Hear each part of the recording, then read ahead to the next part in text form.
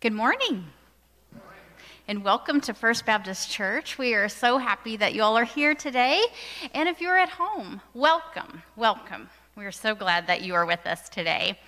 Well, coming up will be Thanksgiving. Before we know it, it will be Thanksgiving. And yes, COVID may change things, things may look a little bit differently, but we are still having our Thanksgiving meal. And we invite you to join us. And so, how does that look different? Well, we want you to reserve your spot online. We want you to register online. And why would we want that? Well, because this is going to be a catered meal. So for the first time, you don't need to bring a side dish.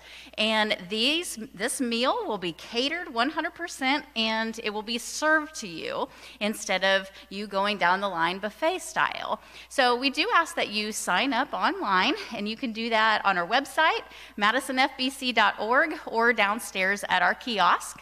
You can always call the office and if you need some help. So uh, we invite you to do that. And it it is coming up. It'll be in November on Sunday the 15th. Also, today, Randy is going to be talking about idols. He's going to tell a story in Exodus where, where Moses went up on a mountain to pray and talk to God, and the people got restless. They got restless. And they, well, God was taking too long. So they wanted someone to lead them and for them to follow. And so they created their own idol. They made it with their own hands, and it was pretty. It was pretty. They made it with their own hands. They could see it, they could touch it, and it was a golden calf. And we may think that's really weird, but but we still create our own idols. Idols that, because we want to see something face to face, we want something with our own hands. I remember when I was very young, I was hyper and lot, I had lots of energy. I know that's really hard to imagine, but I loved doing things. I was very, very busy. And in fact, I, I held my calendar of high esteem and, and I felt good about myself because I could do lots of things and do them well, actually. I, I was very proud of that at that time. Well, my health got stripped away. 100%. My health got stripped away. I could do nothing for months and months and months. I could do nothing. And, and I thought, well, what good am I? Where, where's my value? Where's my worth if I can't do these things that are on my calendar? Well, God showed me that all of those things were idols. I put my calendar before him. I put my busyness, my, my own, the things that I did with my own hands, I, I put before him, and they were stripped away. And he showed me that my value was not in him, not in, in the things that I do, but really is who I am. And who am I? I'm a child of the living God. And so as we go today through our worship service, I invite you to reflect on is there something that I am putting before Him? If my value is not 100% in Him, then it's probably got a little bit of something else in there, and, and we don't want that. We want Him to be 100% where our value comes from. And I just invite you to reflect on that, think on that. Is there anything that is in your life that, that you're putting before Him? And he showed me that during that time that when I was sick, I had this Selah. And in Psalms 46 and 47, you can read through scripture, and there's a word that just gets stuck in there, and it's called Selah, S E L A H. And he showed me that during that time, it, it was put in scripture to stop, for you to stop, pause, and reflect on what God is doing what is he doing? What has he done? And so during this worship service, you don't have anything else to do, just to sit and reflect and pause and think about what God has done and what he's doing in your life. So may this be your Selah.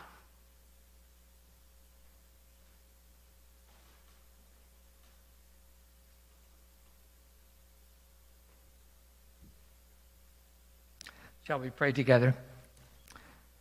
Oh, Father, we come to you this morning. We need a, a big God, a God that's stronger than sticks and stones, a God that's even stronger than gold, a God that can be everywhere and can be with us each day.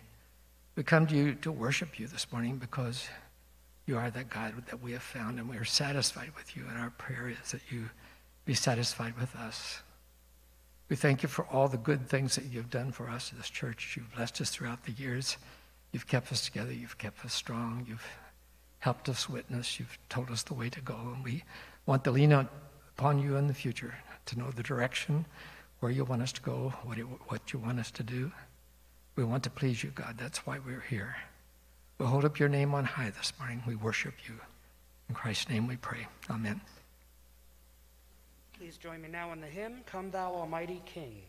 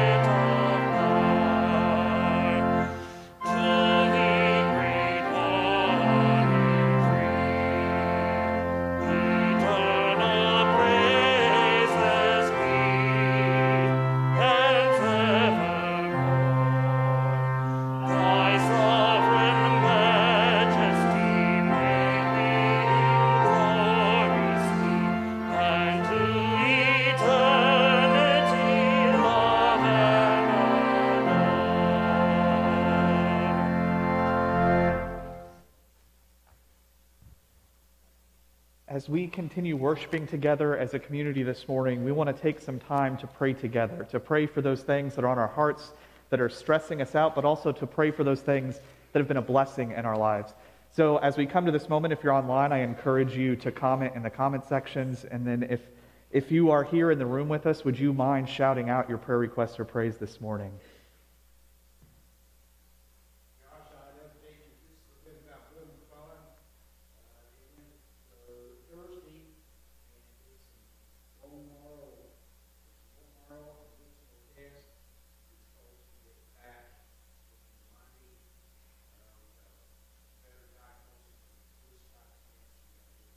Okay, so Bill had more testing done on his mar- marrow, but they, and they're still trying to figure out what he has.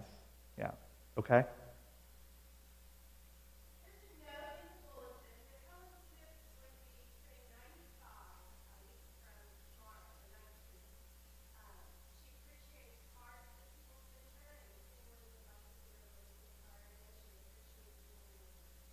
Helen Smith is turning 95 and she appreciates cards.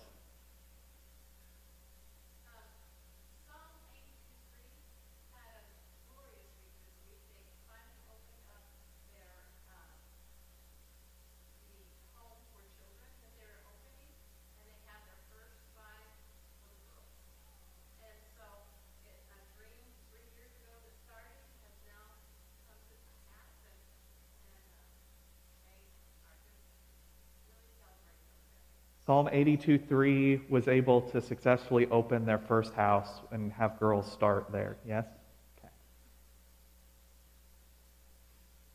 Anyone else? Will you pray with me? God, we come to you knowing that you were present at the beginning of time and that you have been present with us throughout, throughout eternity. And as we come to this moment this morning, Lord, we acknowledge your presence and your power and your rule over this world. And we just ask that the things that are on our hearts, those things um, that people may not feel comfortable lifting up, that they're struggling with, we pray that you would help to take those, that we would trust you with the things that we're struggling with. But also, Lord, we come to you celebrating all of the many things that you're doing in our world today. And so, as we come to this moment, we want to give you the glory for all of that, all of the blessing in our lives, even the breath that we breathe is because of you. And so, as we come to this moment, Lord, we ask that you would help us to worship you, to pour out our worship to you this morning. In Jesus' name we pray. Amen. Please join me now in the hymn, I'd Rather Have Jesus.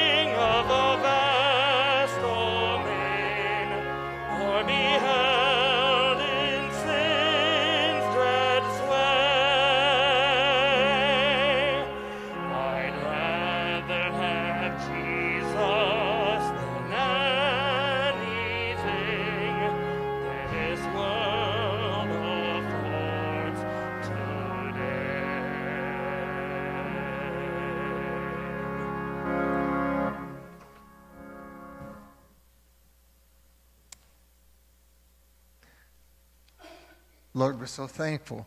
Thankful for so much that you've given us. All that we have is truly yours and be given to us simply to be stewards of. Father, help us to return a portion of what you've been so uh, generous to us with and help us to give cheerfully and happily and to the work of thy kingdom. We pray this in Jesus' name. Amen.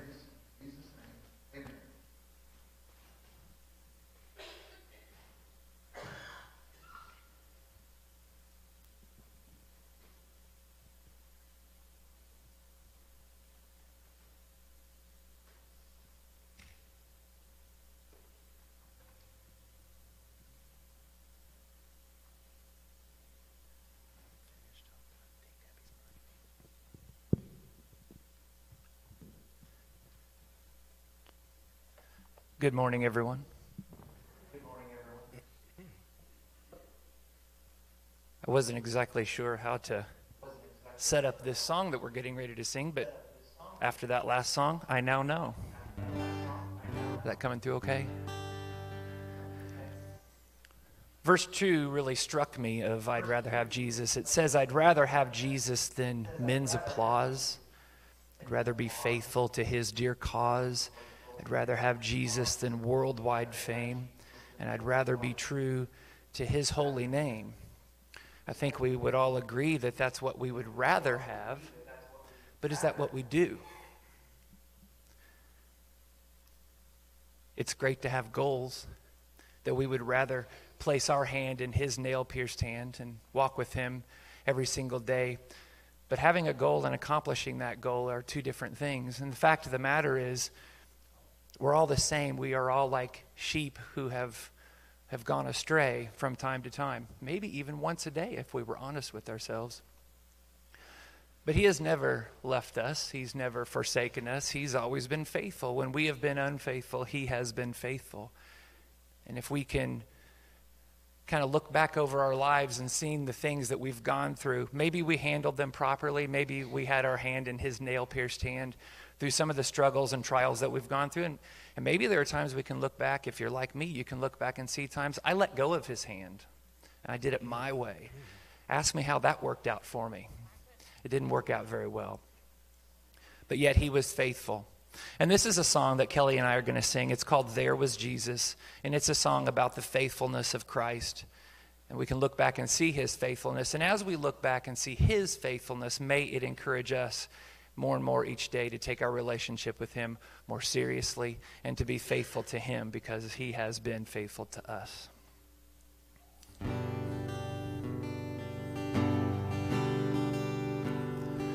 For this man in need, sorry, I've got the um, pages. I was singing verse 3 ahead of time.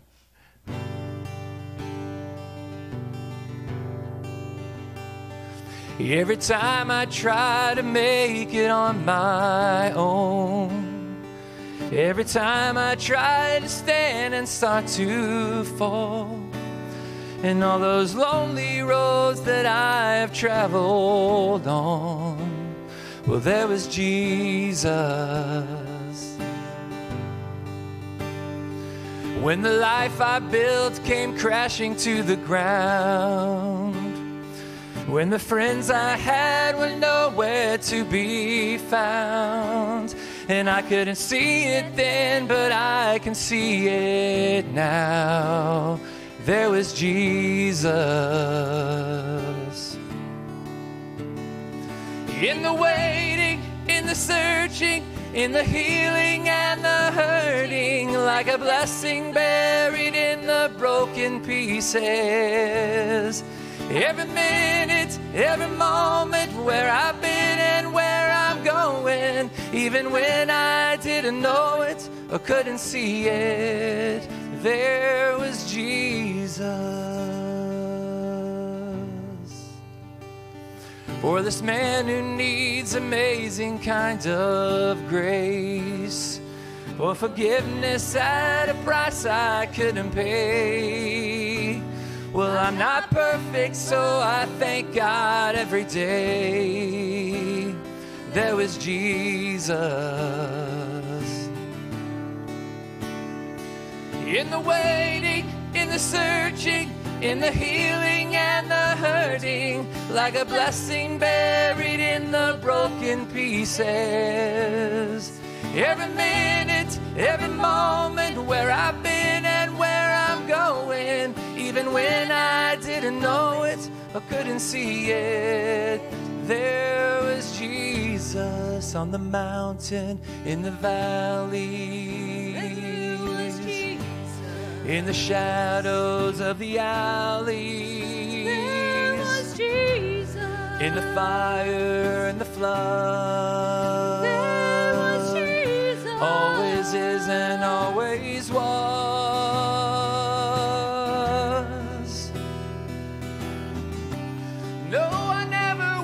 Alone. in the waiting, in the searching, in the healing and the hurting, like a blessing buried in the broken pieces.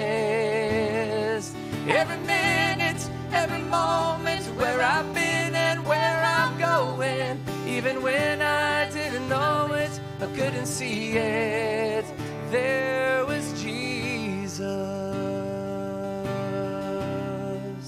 There was Jesus. There was Jesus.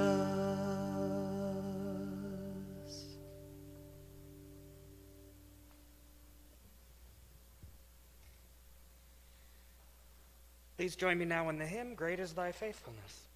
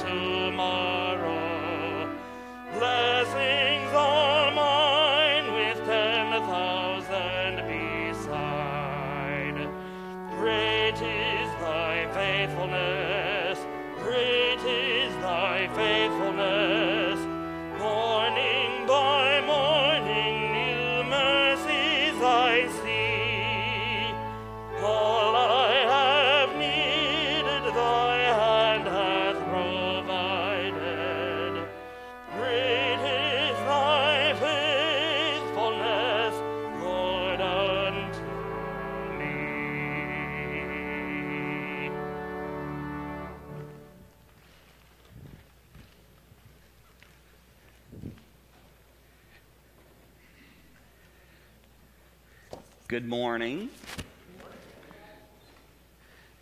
Thank you, music team, once again for leading us in worship this morning. As we sing these amazing songs again, and Kelly, as they come and, and gave us, as they are here and bringing special music to us, we so appreciate that. Wasn't that awesome? I didn't know that Kelly could sound like Dolly Parton so well. I could tell. but as we worship this morning in the passage we're looking at, we're going into the Old Testament in Exodus. And here in this passage, Um, and we're looking around actually a lot in the middle and end of Exodus. I'll primarily be looking in um, chapter 32. But as we look deeply into this, we can see something that really tells us human nature and character and also God's character as we look deeply into this. And some background information remember, Moses led the people who were held in bondage in Egypt, the Israelite people, the Hebrew people. And he led them out and he um, did amazing miracles as that happened. Crossing the Red Sea, the waters parted, they walked as dry as on dry land as they crossed that, and they had a lot of adventures and they were beginning to understand what it means to trust in God for what they needed every day, whether it was food through manna or water, as Moses struck a rock with his staff as God told him for water. So they were learning, theoretically, how to trust God for everything and all the basic necessities that they have. But more importantly, just understanding to trust God with their lives. And as they were traveling, they came to a point, the foot of Mount Sinai the mountain that many amazing things happens in the Old Testament. But as we look, this is a place that people encounter God. And as they um, parked there and began camping around Mount Sinai, God um, called Moses up to the mountain to talk. And one of the things I found interesting, I'm, reading through this passage and, and researching. Do you know how many times Moses went up and down the mountain? Seven times. Um, that it wasn't just one encounter getting the Ten Commandments. You know, as we look at, um, if you've seen Charlton Heston, I just remember like there's one trip up and one trip down, maybe two, you know, broke the tablets once, went back and got another set. But as you look through, there were seven encounters um, between Moses and God on that mountain. And the first trip up, there's this proposal. God makes a proposal. And it's very similar to a proposal of marriage that we would have today. And we know, you know, now it's really, really cool to have a really cool proposal, and then you post it on Facebook or whatever and see that. And sorry, Lisa, it was mine was not that dramatic. It was very simple, taking her to her favorite spot and um, pulling out a ring and asking her for marriage. But here is a proposal that God is making to the people. And it's an incredible proposal. God is committing himself to be God in a relationship with a group of people, with the Israelite people. And then their requirement is then to commit themselves to him in a permanent relationship, in a relationship where they will be a nation of priests. And this is very significant. It's not just a cozy thing between God and the Israelites, because the priest is a representation during this time period between God and the people. And the priest is to let the people know who God is and what God says. And so this is an amazing thing. This is a covenant so that the people of Israel will be priests to the nations, so that the whole world can know. And God is wanting a special relationship with them so that the whole world can know who He is. And so this proposal is made, and then along with that, as Moses is coming down the mountain, God wants to speak to the people, and part of that covenant is that he gives the Ten Commandments. In Exodus 20, we have God here in um, not just bullet forms, but in paragraph form explaining the Ten Commandments. And so God explains these are the ways that I want you to covenant with me, and I want you to behave this way, and along with other commandments that he gives later. But these are the big ten. And as he's sharing these things, he's doing it in a verbal way so, so that all the people can hear. And it's like thunder as God is speaking to the people, and they're terrified. And actually, as God finishes, the people go to Moses and they request, Don't do that again, please. This is terrifying. Why don't you just go talk to God and then you tell us what he says? Because just God's presence was too much for them. God's presence was too big too powerful. And this is a hint that the people want something a little more domesticated. They want God to be a little bit more tame than that, something more that they can manage and control, and not some, some God that's so big and powerful. And I think that's a little foreshadowing of, of what is to come. But as God is giving these commandments, um, do you know what the first commandment is? The first commandment is, I'm your God, and you need to keep that clearly in your mind, and don't think anything else is God because I'm God. I don't want you to make any idols. I don't want you to make images that you're going to worship, anything on land or sea or anything. I'm your God. Worship me in truth and spirit. Don't make images to worship because I don't want something unclear that. I don't want you to worship anything but me. And God says, I'm a jealous God. Now, um, I've recently learned that this Hebrew word implies great passion. A lot of times now in our modern ways of thinking of jealousy, a lot of times there's like kind of envy tied in with that. But this word, as it's used in Hebrew, it doesn't have that component. It's mainly, I'm passionate for you. You know, I am passionate for you and want a relationship with you. So it doesn't include that envy and those kind of things that we tie in jealousy today. So God is passionate for us and wants what's best for us. And when God says, I'm a jealous God, He wants you to be pursuing Him for your benefit because He's passionate for you. Because if God is God, and if we choose to worship Him in truth and in spirit, God is still God and God is great. And if we choose not to, God is still the same great and powerful and awesome. But God is giving us the opportunity to come to Him and worship. And that's the opportunity that He was giving the people. So as they continued on, um, they hear these words from God, and the, Moses discusses this with the leadership and with the people, and they agree. We accept God's proposal. And so, great. So the people are in agreement. They've seen the power of God. This is a big responsibility, but they say they're up to the task. And so then in 24 um, is Moses going back to God, going back up the mountain and saying, The people accept. We accept, and we're going to be your nation of priests. And so as they're having this conversation, God is great. He's saying, This is wonderful. And then he begins this long, the next several chapters up to chapter 32, explaining how then this, what this is going to look like. He explain, explains the tabernacle, how God is going to be, have a visual presence with the people all the time, and how to build this tabernacle, which is a portable temple um, with this tent, and he's explaining how he's going to empower skilled craftsmen to make things so well. And he's describing how the priests who are a part of the temple are going to dress and all the rules and regulations to that in great detail as part of the covenant. Meanwhile, as the people who are newly engaged, they are still at the foot of the mountain Day after day goes by because Moses, at this trip up the mountain, he's up there 40 days. And they begin to get restless. And they're like, Is Moses coming back? It's been 40 days.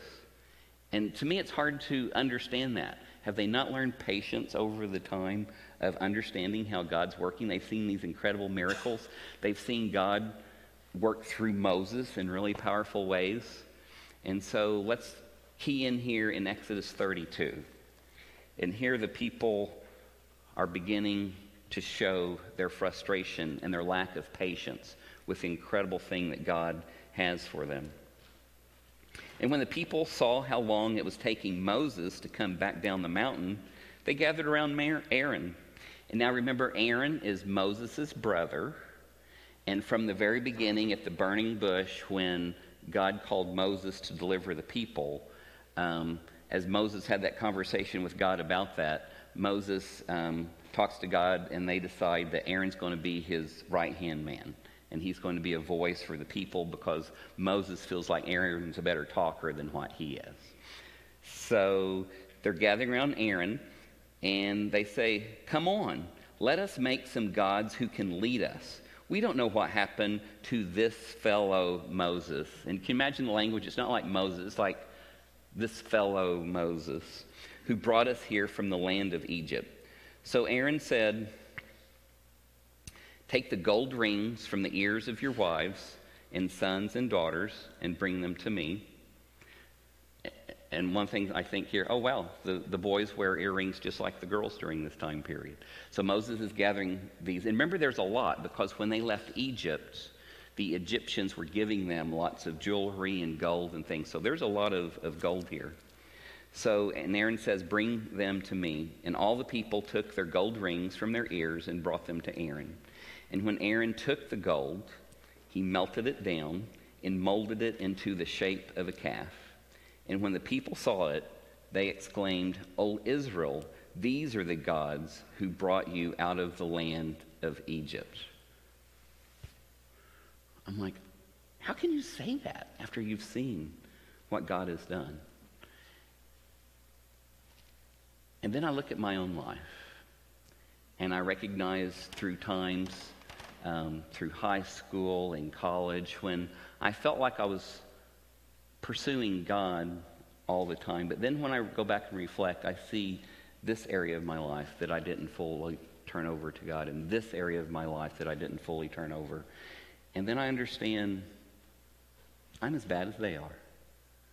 There are areas in my life that I'm so slow to turn over, things that I want to keep to myself and not turn over to God. So, as horrible as I think there are, I really need to point that finger back to me and look at, you know, many ways I'm just like them. And then, as I was studying and reading through this passage, I caught something that I've not really caught before, and that's Aaron. And I think this is really, really important. Aaron saw how excited the people were. So he built an altar in front of the calf, and then he announced, Tomorrow will be a festival to the Lord. And I'm like, what? You just built a calf. And then I'm, and this is to the Lord. This is in your Bible, it's all capitals L O R D. So he's being clear this is Yahweh. So he's going to have a festival to Yahweh, to God Almighty, who has led them out of Egypt with the golden calf. And now I'm really confused. And then I begin to understand not only are the people confused and they're wanting something else to worship, but in Aaron's mind, he's worshiping God. He's worshiping Yahweh, even though he built the calf. And so I'm like, what's going on there? And then I realize, oh, yeah. You see, when we come to worship our Savior, when we come to worship the Lord of the universe who created everything, it's impossible for us to fully comprehend the majesty and the greatness of who God is. And so we do the best that our little feeble mind can do. But it's very important that we're always learning and growing and allow ourselves to really understand how powerful and who God is, and that we're growing in that understanding every day because we're always, I think, off a little bit because of our own shortcomings and our own humanity. So I think our goal should be is to continually growing and being in God's Word so that the, the image that we have of who God is is the most accurate one that we can possibly have. I remember when we were blessed about a year ago or so, um, that I got a, a, message from a friend in town who had another friend, and he was a recent convert to Christianity from Islam. And he felt led to speak and talk about that because it made such a huge impact on his life. And he came and spoke here on a Sunday night. And I asked him a question because I was curious about this. I said, Is the God that you worshiped before your conversion, how is he different, or is he the same God or a different God than who you work, worship now as a Christian? Are you just having a better understanding of who God is? And I was curious, like, how did he frame that in his own mind? And if I remember correctly, um, he hadn't thought about that. And so it wasn't really, it was fuzzy in how he was putting that together in his mind. And I give him credit that um, we're all growing and learning about how to do things.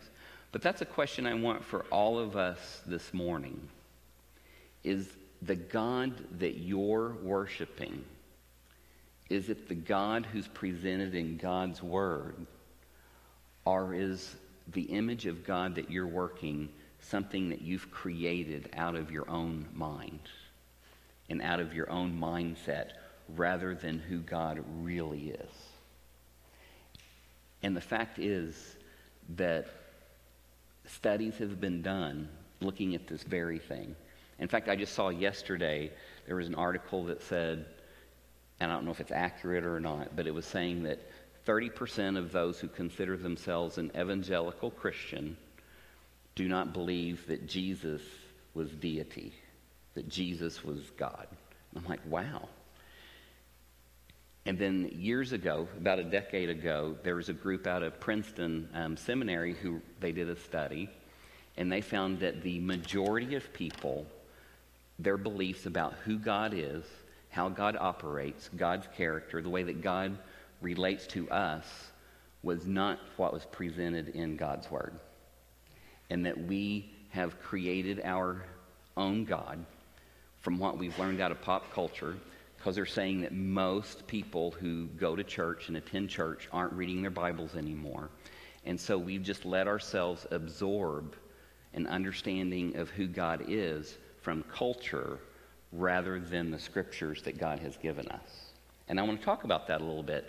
And as, as I do, I want you to think about is that the way I think of God? And let's compare that to who God is in the scriptures. So here's what this group found that the majority of people who in our country who they say they believe in God, and even including those who go to church, think about who God is. It's, there's three points. One is that God wants you to be good. God wants you to be good. And this means that God wants you to have good moral behavior. God wants you to be a person, when you look at the good things that you do and the bad things that you do, that you have more good things in your life than you have bad things in your life.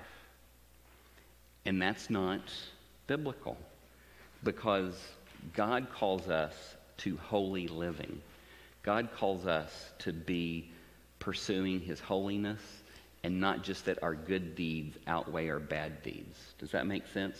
God calls us to be his people, a chosen people, to proclaim his love to the nations. And in doing so, he doesn't he wants more from us than just basic morality. And Jesus clarifies this in his teachings when he says, you know, you've heard that you should not commit adultery. I say that you shouldn't lust. You've heard you should not commit murder. I say that you shouldn't be angry with your brother or sister. So there's an understanding here that God calls us to, to holiness, not just a simple morality. So that's the first one, is that your good deeds should outweigh your bad deeds, of this new understanding that is incorrect of who God is. The second point is that God wants you happy. So God is there so that your happiness is supreme. So that means whenever um, something bad happens to us, which it always does because we live in a broken world, that God's upset about that and God wants you to be happy and God really wants to fix that in your life. And the truth of it is, in Scripture, God is calling us to pursue Him with everything that we've got. God is calling us to do whatever it takes. Were the disciples happy as they pursued Jesus and they were, tradition says that they were all killed except for John in their pursuit of holiness and pursuit of what God was calling them to do.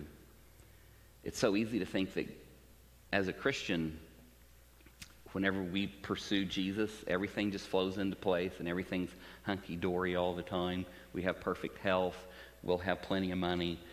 And that's not biblical.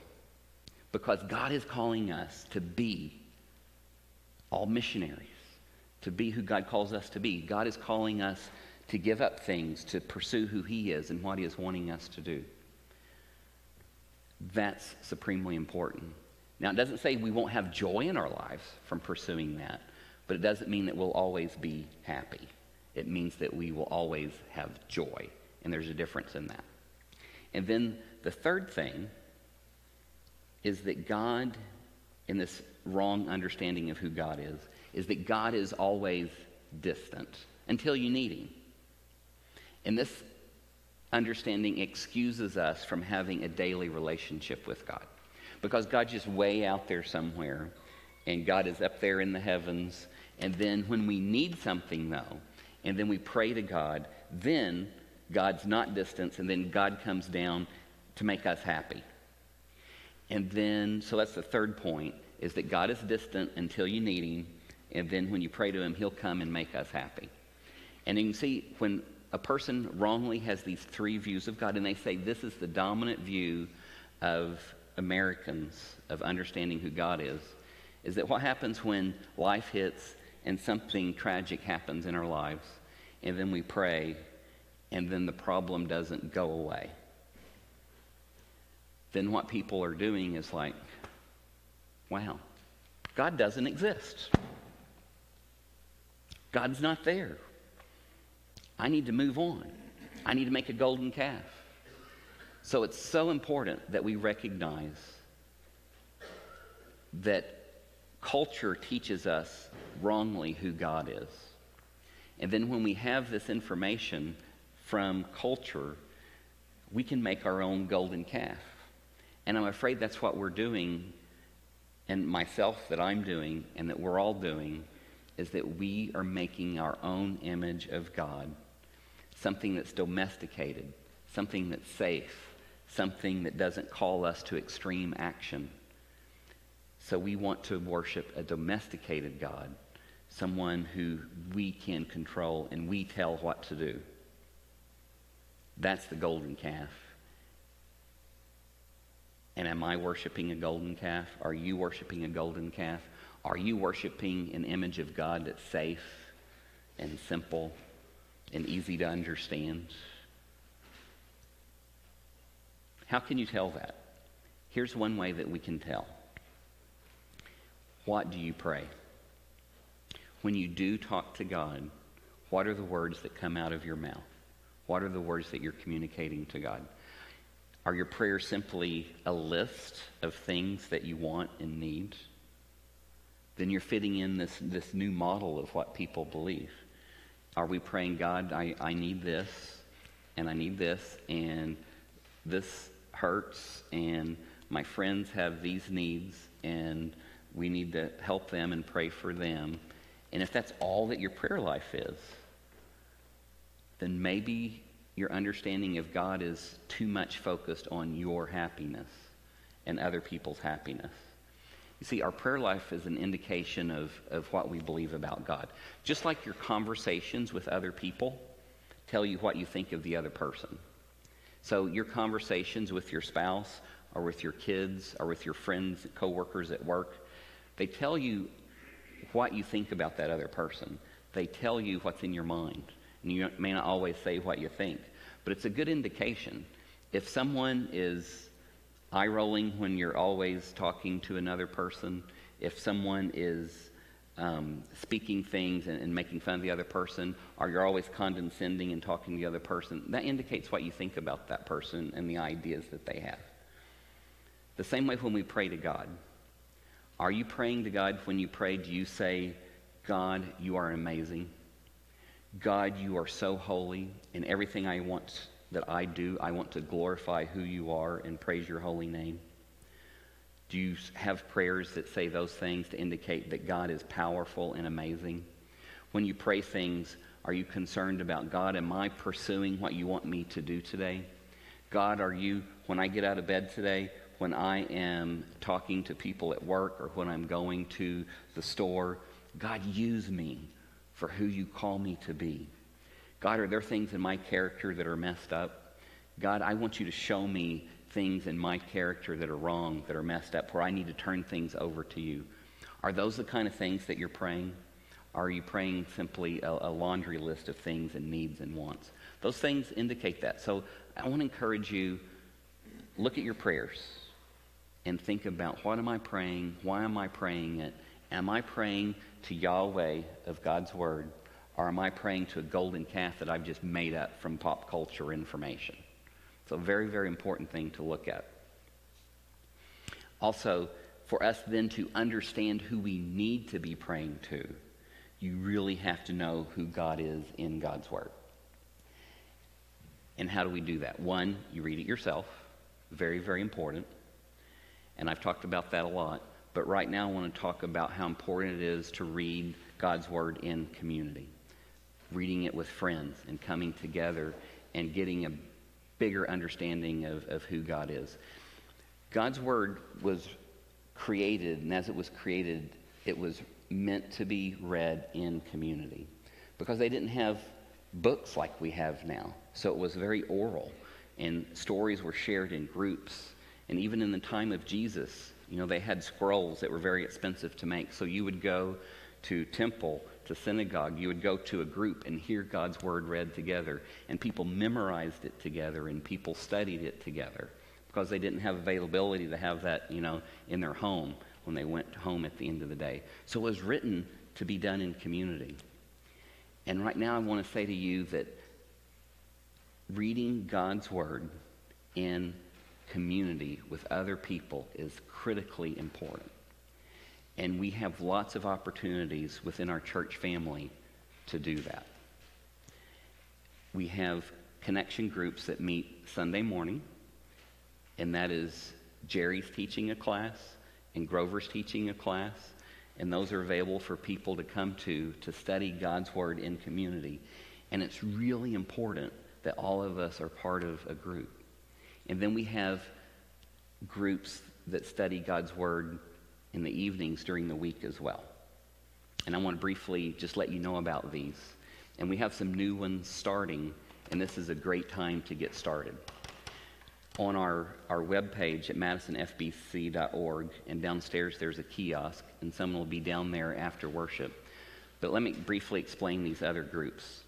So, Monday night, the um, Whites are hosting at the parsonage, and they're hosting a group, and they are going to be studying God's Word together. And Eric is leading at the church on Tuesday nights a connection group, and you're invited to come to that. And Wednesday night, I'm also at church leading a connection group, and you're invited to come to that. Now, each of these connection groups will be studying God's Word together, and it will reflect what's presented on Sunday morning during the worship service. They won't be identical, but they will reflect together so that we can be growing as a community together about the true nature of who God is. And during this season, as we are in God's Word, we'll be going through Old Testament passages because that's a foundation of who Christ is and Christ's teachings. So we'll be going through the Old Testament as we do that. Now, also, there's other supplemental groups that we also have, and they won't be a connection group like these others. What makes the difference between a connection group that I just talked about and some of the other groups is the connection groups are focusing on accountability with each other too. And they're focusing on caring for each other because of being in part of that group. And I'll say that the Seekers is a wonderful example of a class that's been doing that. As the group is bonded, they do things, they send cards to each other, they keep track of what's going on in each other's lives, they support each other and nurture that. And that's the, the point of that group is they study God's word together, they're living life together, and then they can use God's word as part of their lives. An amazing thing. The other connection groups will be doing that as well.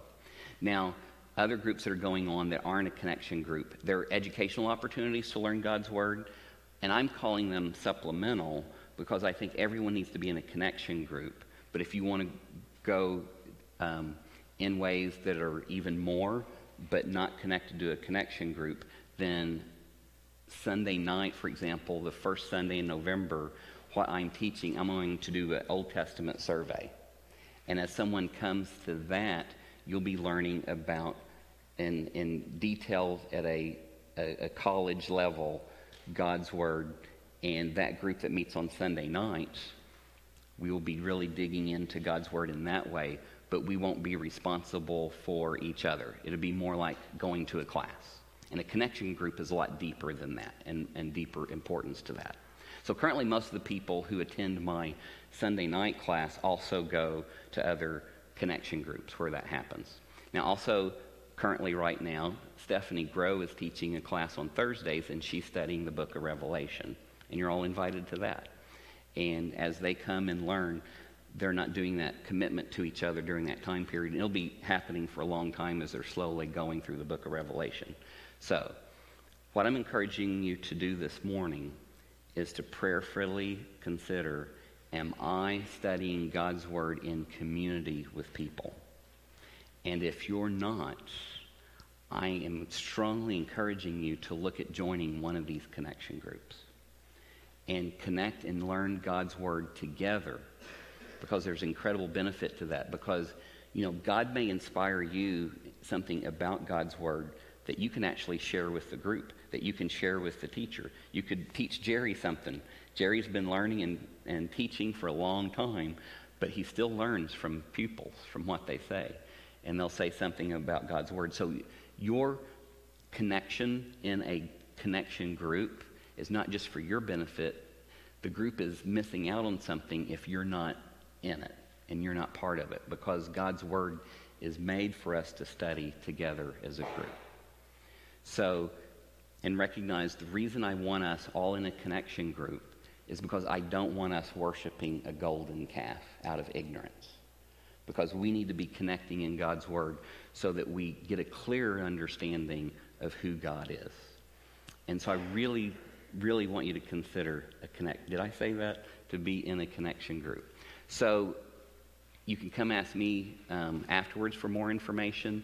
You can go to our website, as I mentioned. There's a kiosk downstairs that someone will be there. You can call the office and ask India about um, when do groups meet or how do I sign up for a group. Um, but we want to make this available for you to connect to something that's very powerful, and that is reading God's Word in community. So as we um, close this worship service, um, prayerfully consider that. I have a couple questions for us to think about. In what ways are you learning the true nature of God? And what that means is I want you to really ask yourself, how am I digging into God's Word myself right now? Am I personally doing my own study? Am I involved in a group of people where we're studying God's Word together? And then say, God, what do you want me to do? What do I need to do now? And the second one, if someone examined the words you pray, what would they say that you thought about God? And keep this mindset with you, you know, all week as you're praying and thinking, what are the words coming out of my mouth? And what does that tell me that I believe about God? So as we look at this point in our worship service, as Linda is going to um, play, it's an opportunity to listen to God, to listen to God's Spirit speaking to you. And I just pray, listen. Listen as this music is playing, and you're free, you're dismissed at any time during the music or afterwards as we worship together. I will be sitting over there. And if you have any questions about anything, if you want to pray about something, if you want to join our church family, you're invited. If you just want to talk about God and have questions about who God is, you're invited to come up, and I would love to chat with you about that.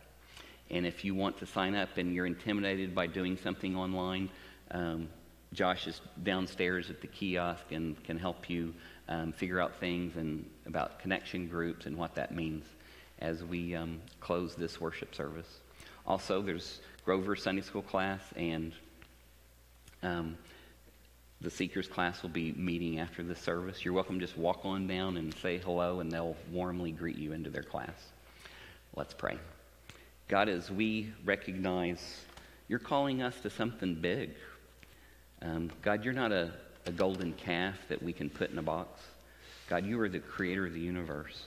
So, God, as we worship you this morning, teach us who we need to be and teach us who you are so that when we worship, we're worshiping the bona fide, authentic creator of the universe, Yahweh. God, may our image of who you are be very accurate as we learn who you are from your word. In Jesus' precious name we pray. Amen.